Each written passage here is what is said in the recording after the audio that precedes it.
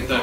Soy Fernando Calderón. El motivo por el cual estoy realizando este video es debido a que estoy recibiendo diferentes acusaciones de que yo acosé sexualmente a una mujer. Yo no tengo nada de qué ocultarme y por eso me estoy haciendo presente el día de hoy. Me están difamando, me están acusando. Aquí estoy presente. Espero y las personas que me hacen las acusaciones tengan las pruebas suficientes, por lo cual me están difamando. Ya que de lo contrario yo presentaré una querella por difamación a quienes resulten responsables e involucrados, debido a que mi familia, la gente que yo conozco, que me conoce, sabe qué tipo de persona soy.